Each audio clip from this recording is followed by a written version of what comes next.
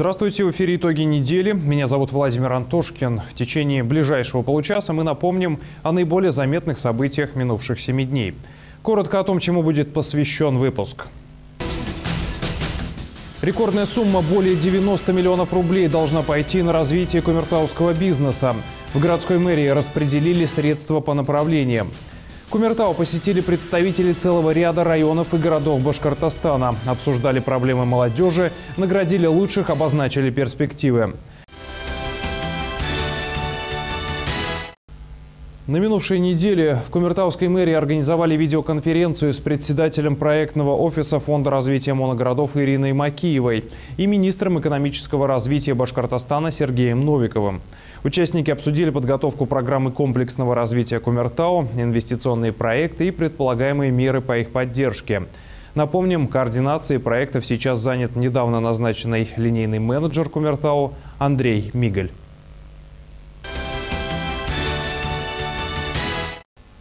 Прошлом году кумертауским предпринимателям отдали более 16 миллионов рублей. В этом планируют раздать более 90. Все это в рамках программы поддержки малого и среднего бизнеса. На минувшей неделе прошло заседание Совета, где распределяли средства по направлениям поддержки. Всего их в этом году пять. Более 95 миллионов рублей необходимо безвозмездно отдать кумертауским бизнесменам. Такая задача стоит перед Советом по развитию и поддержке предпринимательства. Сумма рекордная. Больше денег дают только в Москве и Санкт-Петербурге. Накануне в Кумертауской мэрии состоялось очередное заседание Совета, на котором распределяли средства по направлениям. Всего их в этом году пять. Компенсация части лизинговых платежей, процентов по кредитам, затрат на приобретение оборудования, а также субсидирование стимулирования социального предпринимательства и стадии становления – стартап. Сегодня нам на Совете необходимо рассмотреть два вопроса. Первое – распределение суммы субсидий между видами поддержки. И второе – установление максимальной суммы субсидий на одного получателя поддержки – Предварительно решено стартап субсидировать до 300 или до 600 тысяч в зависимости от количества учредителей. Желающим компенсировать расходы на приобретение оборудования планируется выделять до 5 миллионов рублей. Тем, кто хочет покрыть часть затрат на лизинг, до 3 миллионов. Остальным видам поддержки достались суммы до 1 миллиона по каждому направлению. Деньги, которые нам выделяют, э, выделяются из федерального республиканского бюджета в объеме 95 миллионов рублей, мы обязательно освоим. У нас очень активные предприниматели, которые уже заполняют пакеты документов, оформляют, приходят с вопросами, а, и э, освоение будет однозначно. Конкурс открытый, заранее ничего не решено и шанс есть у каждого бизнесмена. Такое заявление было сделано в ходе обсуждения. Заявки от предпринимателей уже начали принимать в многофункциональном центре.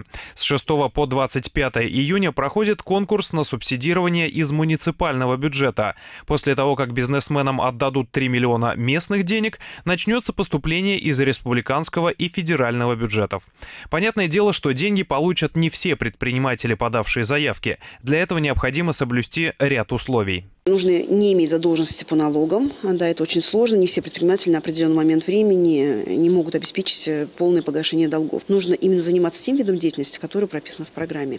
Он довольно-таки широкий, но все-таки он есть. То есть банковские э, организации, страховые компании, и горный бизнес, допустим, они не могут получить эту поддержку. В прошлом году был запрет на оптовую розничную торговлю. В этом году он вернулся, этот, э, эти виды деятельности.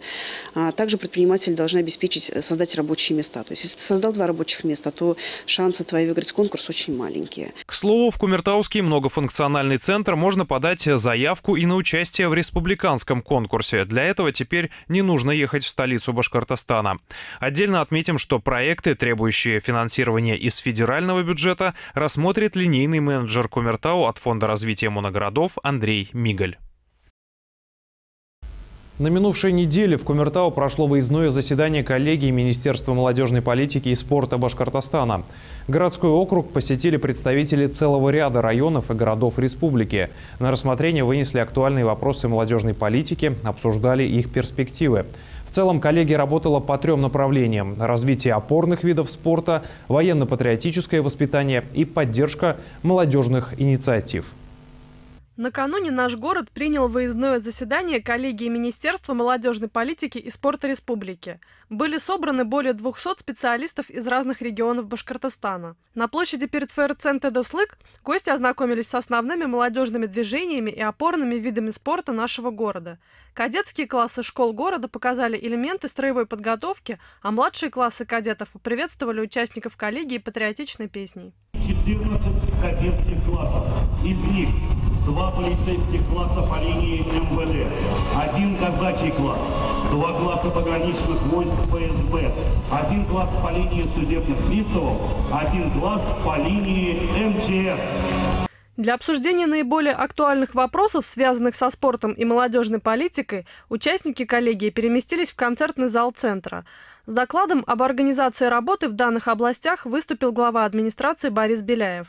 В Кумертау принята отдельная муниципальная подпрограмма развития опорных видов спорта и физической культуры. Учитывая тренерский состав, состояние материально-технической базы, сложившихся традиций и популярности, были определены пять видов спорта в нашем городе. И в течение шести лет целенаправленно реализуется их развитие. Дзюдо, греко-римская борьба, лыжные гонки, тяжелая атлетика, бокс. По каждому из опорных видов спорта Кумертау проводятся масштабные турниры всероссийского и республиканского уровня.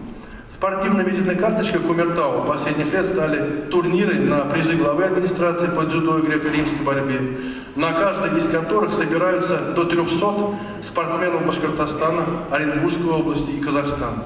Более 20 лет в городе проводится всероссийский турнир памяти заслуженного тренера России, мастера спорта Советского Союза по дзюдо Сержика Анушавановича Антиняна, основоположника школы дзюдо в городе Кумертау.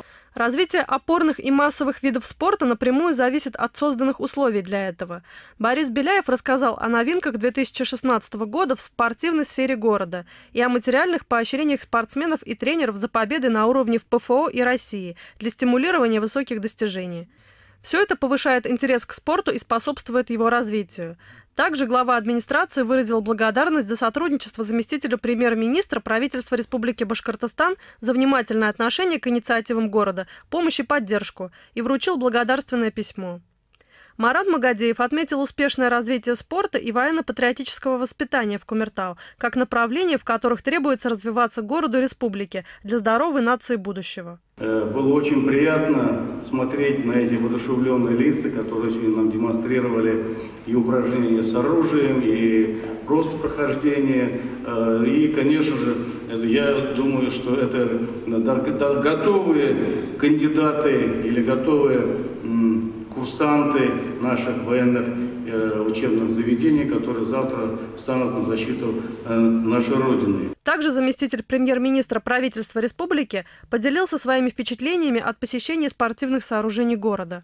И сегодня мы уже посетили абсолютно готовый, действующий физкультурно-оздоровительный комплекс с замечательным бассейном. Главное, там есть жизнь, там занимаются ребятишки, занимаются и в тренажерных залах. Но мы посетили строящийся ледовый э, комплекс, 320 э, миллионов капитальных вложений и к исходу, нет, э, к июню 2017 года объект по плану должен быть введен, и он, я уверен, будет введен. Это, наверное, станет изюминкой не только города Кумертау, но и всей южной составляющей нашей республики. В рамках мероприятия памятной медалью и грамотой был награжден глава администрации Борис Беляев за значительный вклад в подготовку и проведение Олимпийских и Паралимпийских игр 2014 года в городе Сочи. В продолжение пленарного заседания докладчики рассказали о формировании базовых видов спорта в Республике Башкортостан, обеспечении медицинского сопровождения спортивных мероприятий и повсеместном развитии легкой атлетики. После завершения коллегии гости посетили военно-патриотический клуб «Гефест», где ознакомились с его работой во всех направлениях, а также сами смогли поучаствовать в выполнении таких спортивных дисциплин, как сборка автомата и стрельба.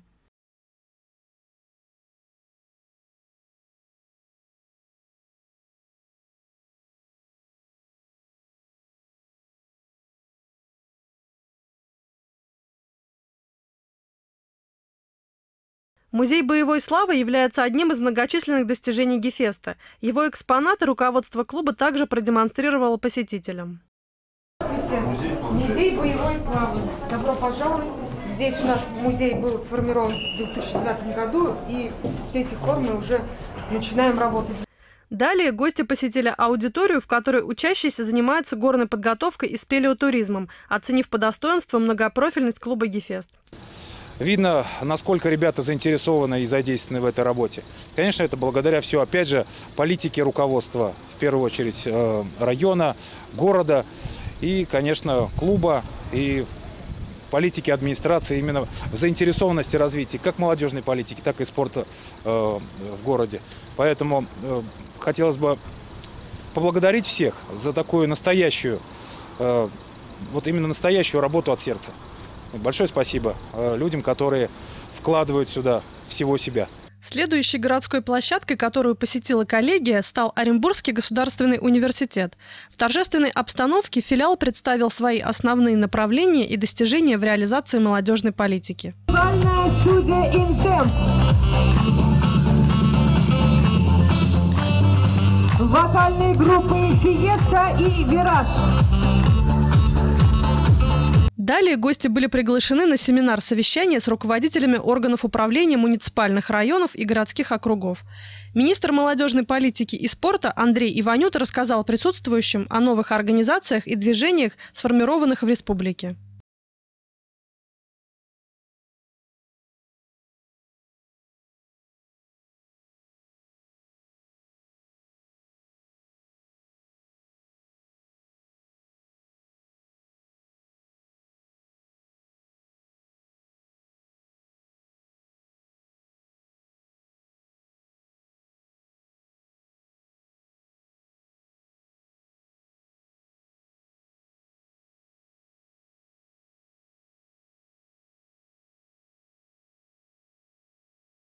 Движение призвано систематизировать патриотическое воспитание, а также увлечь ребят военной тематикой. Юнармейцы рассказали гостям о структуре проекта и участии в нем. Сидим мы смотрим, как идут атаки наших немцев, танки стреляют. Идет уже бой где-то 8 минут, то есть мы привыкли к тому, что вот идет перестрелка между немцами и нашими танки появляется.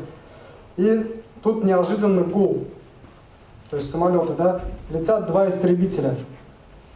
Причем истребители времен Великой Отечественной войны, если посмотрите, то видно. То есть вот это вот наверху фотография, как раз как мы их увидели, и вот внизу эта фотография, насколько низко, они еще даже ниже летали.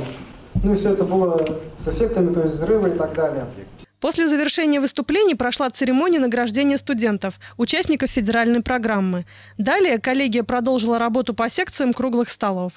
Мы представили экспонаты, представили а, экспозиции, посвященные а, деятельности наших студенческих объединений, а также основных результатов участия нашего филиала в федеральных, республиканских, региональных форумах и проектах, а, реализуемых в том числе и Министерством молодежной политики и спорта. Выезд по площадкам участников коллегии был запланирован по двум направлениям.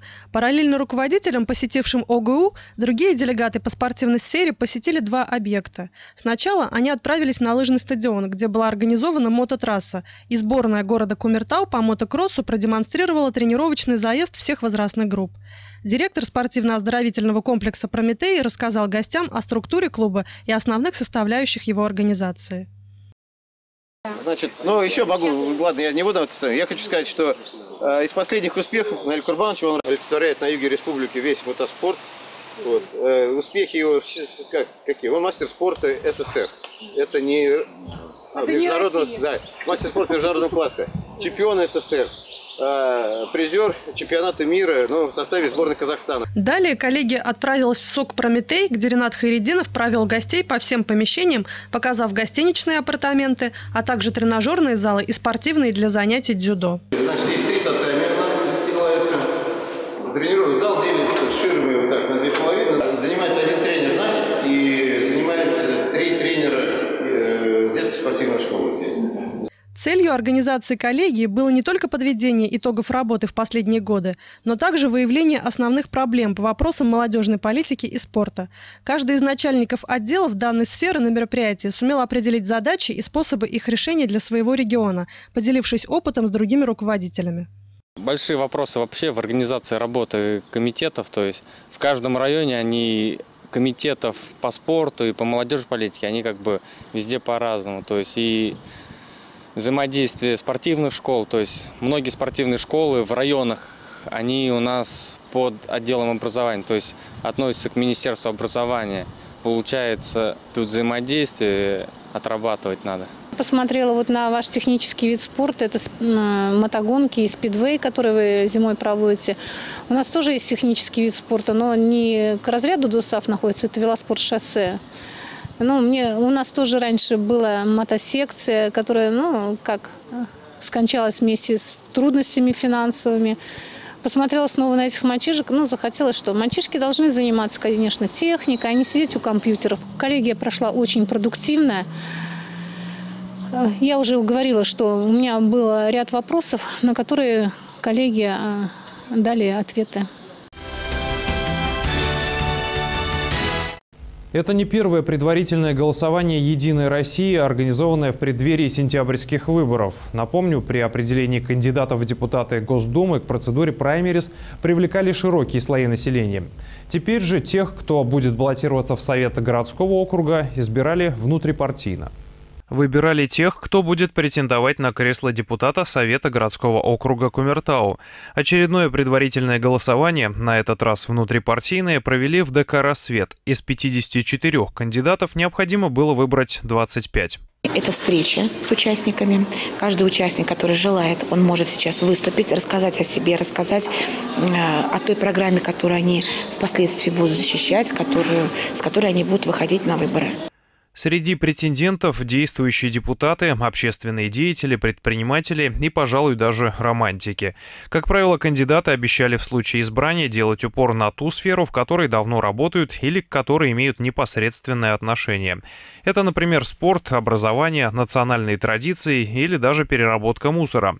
Есть и те, кто своей задачей видит повышение правовой грамотности населения. По повышению правовой грамотности населения в городе осуществлялось мной посредством обеспечения подготовки и выпуска программы «Юрист ФМ» на радио «Арис». В течение четырех лет посредством радио я сообщал о новинках законодательства, о новинках судебной практики, о правовой позиции органов власти. А, эту работу я намерен продолжить. Жаркой дискуссии у зала с кандидатами не получилось, однако не очень удобные вопросы все же прозвучали. А в партию вы для чего идете?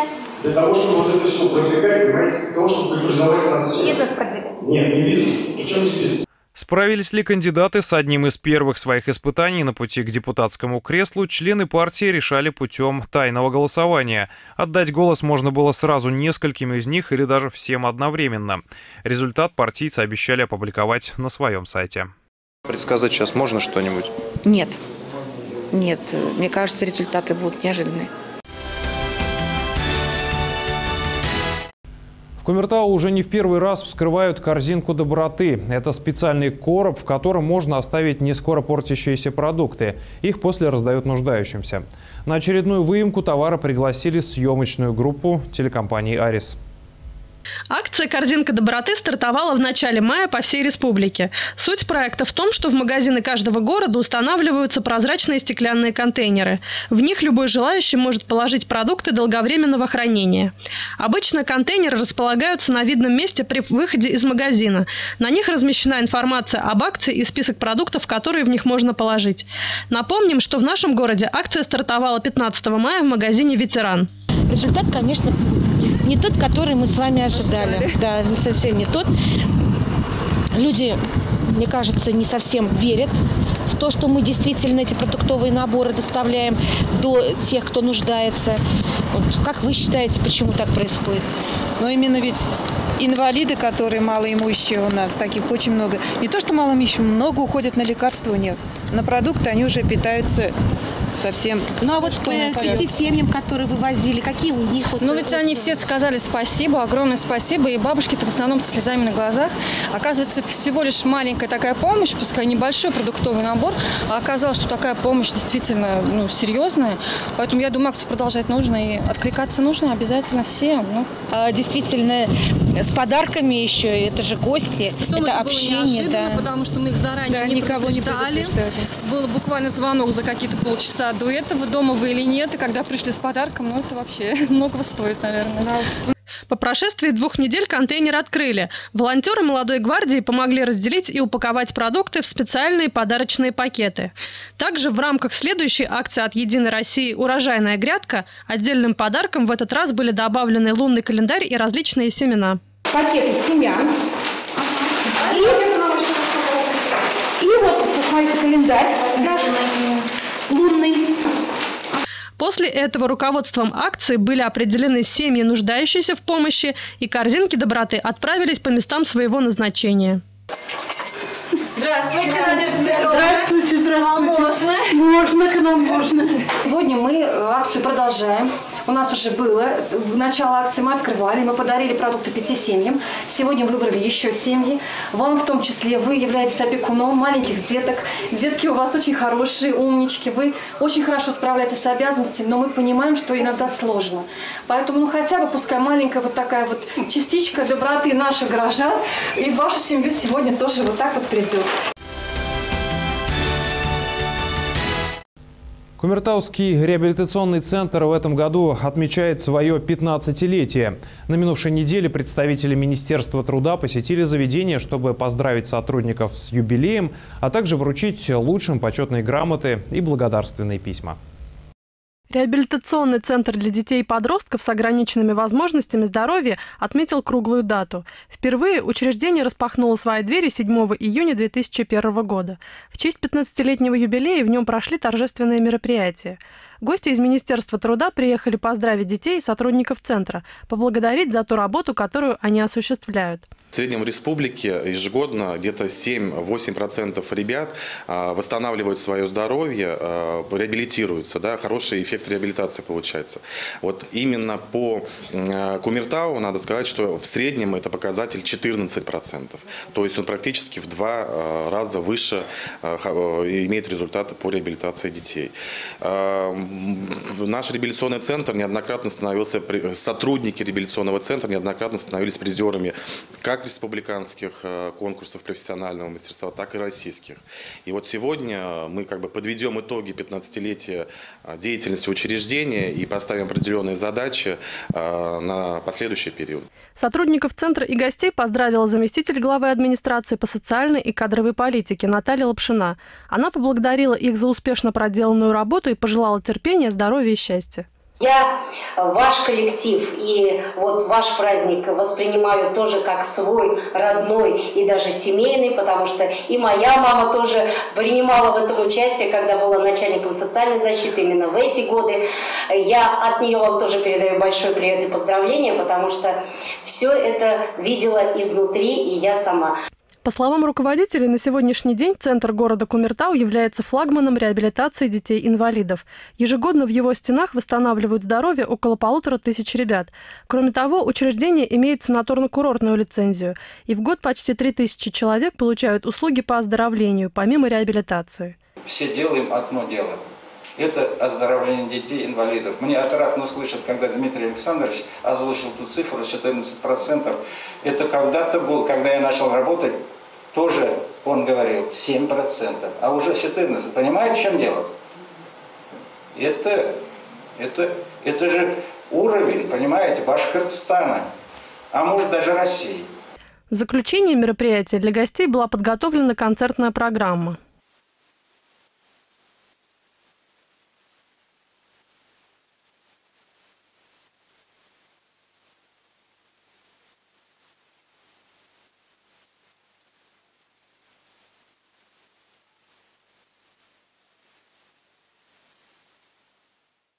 Также в рамках юбилея в парке имени Гагарина администрацией города был организован праздник для детей-инвалидов и их семей. По словам заместителя главы администрации, реабилитационное учреждение имеет очень большое значение для города. Большое значение он имеет потому, что помогает им и э, реабилитировать свое здоровье, и медицинские процедуры провести, и самое главное, социализировать их в этой жизни. То есть э, каким-то образом э, приучить их к нормальному реальным условиям жизни и э, понимать, как они себя должны вести в этом мире. Для детей спели и станцевали творческие коллективы города. Участники праздника в ярких ростовых костюмах героев мультфильмов развлекали ребят забавными сценками и номерами. В празднике с удовольствием участвовали не только дети, но и взрослые. Мероприятие, знаете, очень великолепное для наших, особенно деток. Знаете, любой праздник – это праздник, действительно. То есть э, это счастье, музыка, радость. Это обычное детское счастье, которым, допустим, особенно нашим деткам не всегда, допустим, хватает. И э, огромная благодарность э, организаторам данного мероприятия, да, что они сделали этот праздник. Даже не только для наших деток, а вообще для любых деток. Вот. Ну, конечно, нам очень радостно, очень весело. Все очень здорово. Спасибо огромное. Спасибо большое, что такие организуются мероприятия, потому что все равно наших детишек очень много в городе. И мы хотели бы, чтобы это не была только наша проблема, чтобы люди тоже представление имели. И очень приятно детям, потому что нужно их тоже в общество вводить. Несмотря на то, что тяжелые бывают и разные. Спасибо большое. Очень нравится. Наверняка каждого ответственного родителя волнуют вопросы, связанные с образованием ребенка, дополнительными занятиями или медицинским обслуживанием. А у тех родителей, которые воспитывают детей с ограниченными возможностями здоровья, эти вопросы, пожалуй, стоят особенно остро. Проблемы, с которыми им приходится сталкиваться, на минувшей неделе обсуждали в Кумертауской мэрии на специальном совещании. Это не первая такая встреча, когда актуальные темы, касающиеся детей-инвалидов, обсуждаются за круглым столом вместе с родителями. И вопросы повестки дня сформированы в том числе с учетом их обращений. Мы хотели бы э, несколько аспектов обучения сегодня рассмотреть. Значит, на базе наших э, образовательных учреждений в рамках государственной программы «Доступная среда».